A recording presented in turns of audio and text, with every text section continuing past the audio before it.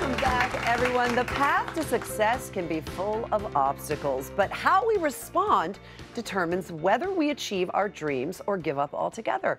Here to coach us through is the best selling author of Life Coaching for Successful Women. Welcome to our home, Valorie Burton. Welcome, Welcome Valorie. Valorie. So excited to have you I want you to know I'm crashing the party here because I think there's a lot that men can take from this too. So I'm gonna I'm gonna pay attention. You know what? It's not. learn. It's true. It's not just women. It's everybody. It is. You know, it's young men and I women. Just it. she just happened to gear it towards women. Well, because she's a woman. I think it's, there's a lot of wisdom in this. So thank you. It's so true. So you say that asking ourselves questions Yeah. that are rooted in our core values is actually one of the best tools for success. Yeah, your values are just what's important to you. And I think life moves so quickly that sometimes we don't slow down to say what really matters to me. And is that showing up in my priorities and how I live my life? But asking questions is super powerful. Most people are constantly looking for answers, but they don't stop to say, well, what do I want? What does success look like in this season of my life? What's this goal going to give me that I don't already have? And so the book is really about the kinds of questions you need to ask yourself to get to the goals and the things you really want. Well, because a lot of times people say what don't what I don't want instead Yes. of what I want, and I often feel I don't know. Correct me if I'm wrong, but by putting that don't in there, you're inviting negative energy into your life. Yeah, a lot of times we're like, I don't want this anymore, I don't want that, or we complain. And so if you find yourself constantly complaining or talking to people about the things that aren't going right, at some point you have to say, well, what do I want here? What's the solution?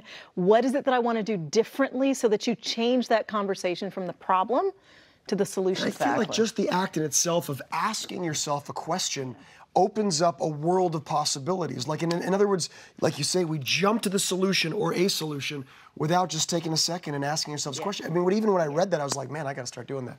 Yeah. So um, when we're facing challenges, when we're facing or trying to tackle some opportunities, one of the things I think that gets in the way for a lot of us is fear. Yes. Talk to us about this. What we can do about So it. So true. Yeah, and I think we live in a world where we're constantly told to be fearless. And I think fearlessness is a myth. no one is fearless. What we really need is courage. Because when we're having those difficult conversations we need to have, when things are unpleasant, when we need to make a big change in our lives, fear is inevitable, Right. Yeah. but it's not a stop sign.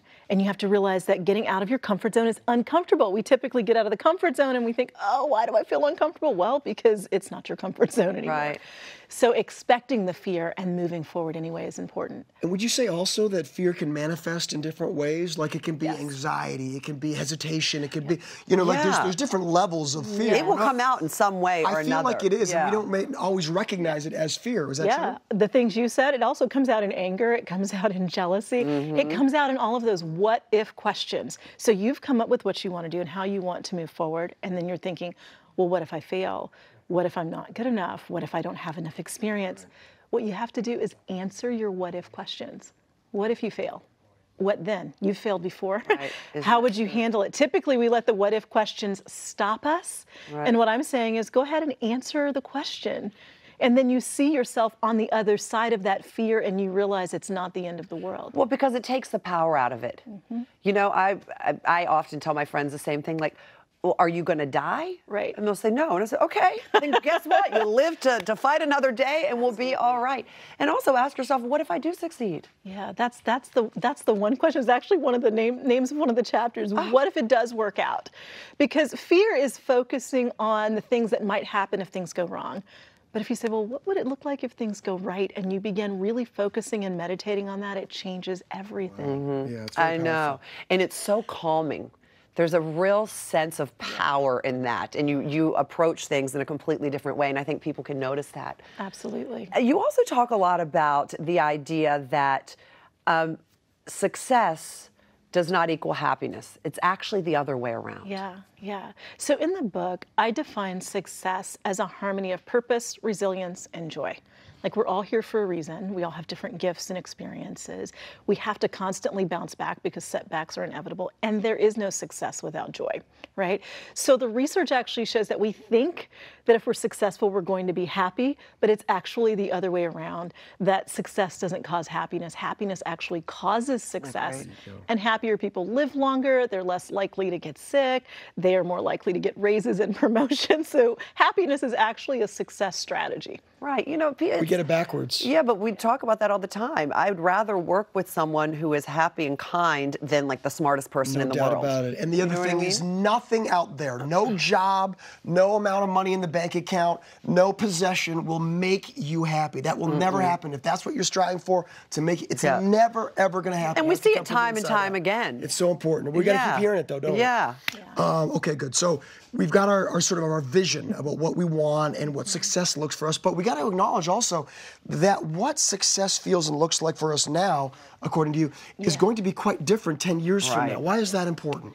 Well, we have different seasons of our lives, and sometimes we have a def- definition of success that fit in another season, and it doesn't fit now. Right. And so we feel like we're failing, we feel like we're struggling.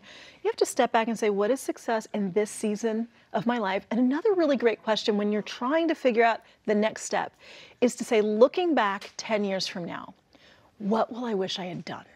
Like, this is really huge, especially when you get stuck in fear, because your future self is going to thank you for doing the kinds of things that lead to the life that you want five or 10 years down the road. So when you get stuck, ask yourself, like, what would my future self wish I was doing right now? And then do that.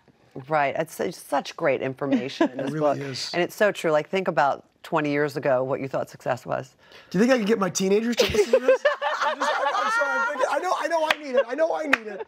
But I mean, my gosh, I sorry. can't. I remember. Oh my gosh, I remember when I was on MTV Beach House. I was 17 and I thought I am so successful. I made it.